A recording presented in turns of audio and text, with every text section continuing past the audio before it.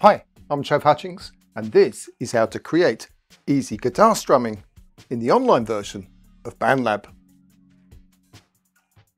So first I'm going to go up to the top left of the screen and I'm going to click on the add track.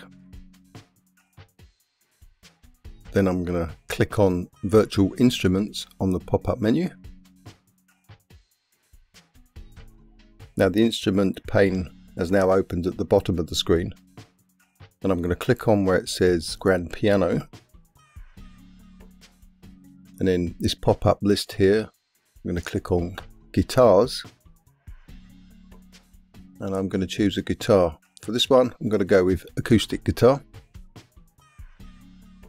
And I'm just going to click down here to close that pop-up menu.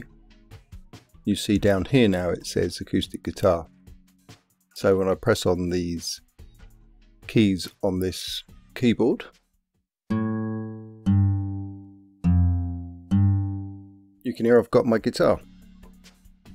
Now to add some strumming to this, we need to turn on the section at the right end of the pane, which is this smart chord section. So just here is the switch to switch it on. So we just click on this toggle and that switches on the smart chords. And now that this smart chords pad is switched on, you see as I move the mouse cursor, we've got this dot that's floating around. So just going to move that down to the bottom left and then click down in the bottom left. Because the bit we actually want now is just below where this dot is, it says strum. And to the right of that is this dot. And we're going to press on the dot and move it to the right till it says 0.03 seconds on the pop-up message.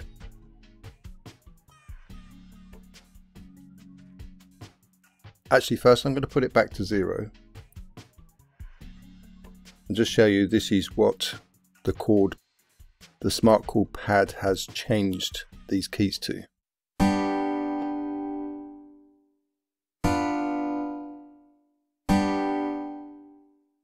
As you can see now it's playing chords. So if I go back here to the strum,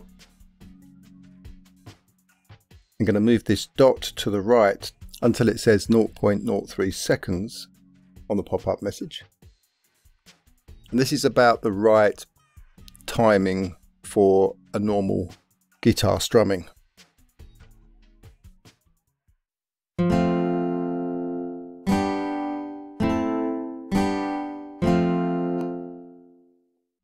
And as you can hear from that, that is creating a downstroke strumming style. If you want an upstroke strumming style, drag the dot on the line to the right of the word strum to the left until it says minus 0.03 seconds.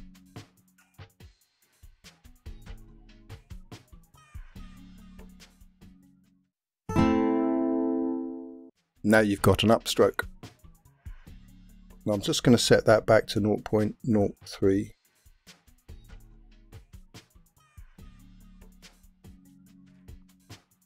Now this is designed for strumming, not for chord picking.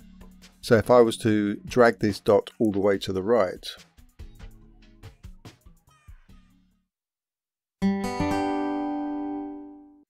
you'll see it's delayed the notes but in a strumming fashion, not in a guitar picking fashion.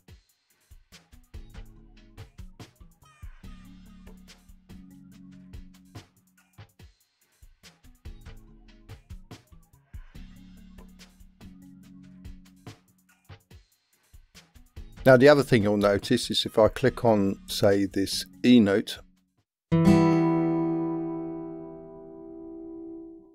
it's playing E minor and I know that because if you look over here at the top of the pad, the chord we're playing comes up and here it says E minor.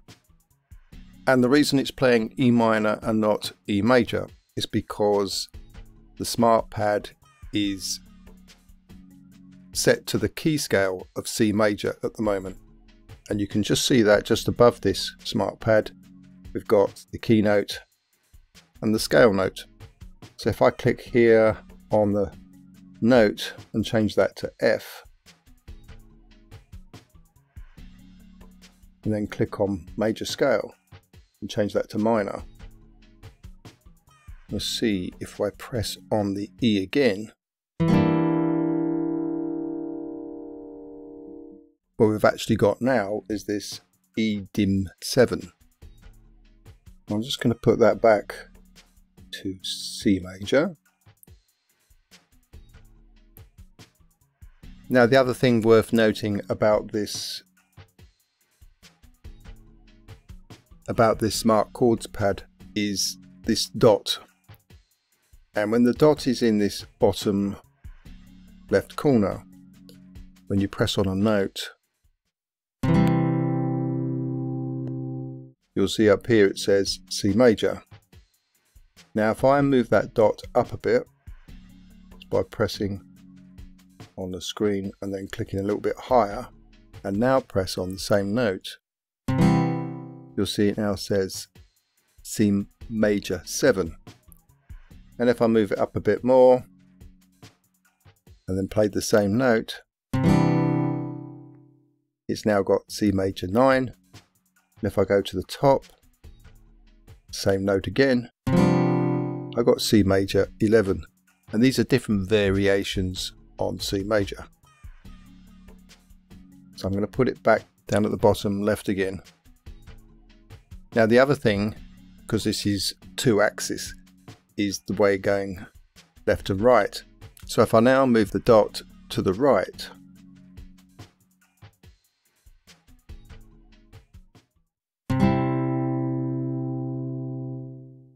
what it's actually done is it's moved some of the notes further up the key scale. So if I do that back on the original one, when I press on the C, you'll notice it's this note, that note and that note.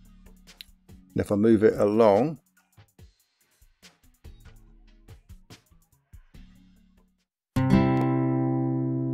those three notes have now moved up the scale.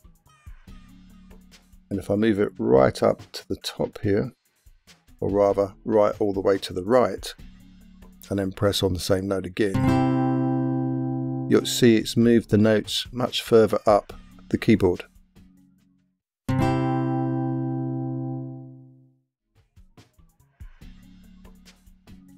And one other thing worth noting here is this Smart Keys mode. If you click on Smart Keys, what you get basically is just the basic chords on these different keys. So if I press on this one, I get my C major, D minor, E minor. And the idea here is because it's not a full keyboard, it's just showing you the ones that you can use in that key scale. That it should be a lot easier to make a song or a song pattern in this mode even if you don't have any music theory knowledge.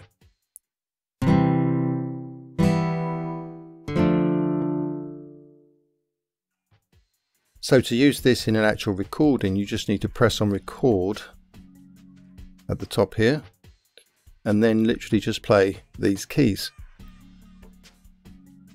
And I will just quickly point out that just at the bottom of these keys is these letters A, S, D, F, G and they actually are the keys on your computer keyboard. So if I press the A on my computer keyboard, I get that C. So you can record using the keys on your keyboard instead of actually on the screen if you want. So let's just record a quick bit here.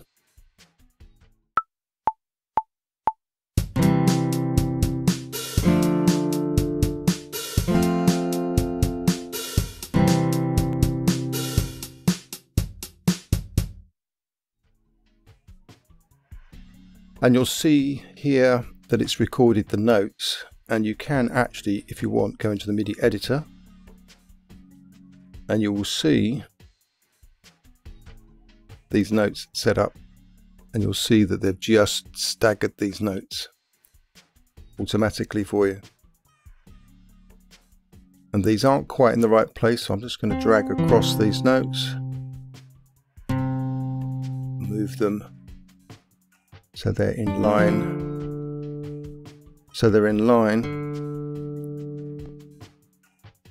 Or rather in sync with the song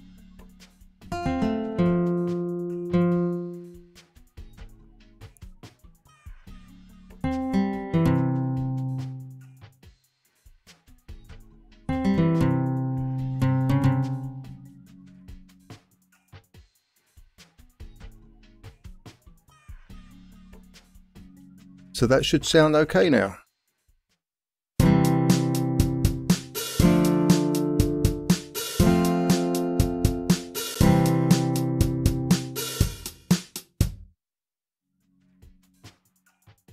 If you enjoyed this video, do give us a thumbs up and click on that subscribe button. Cheers.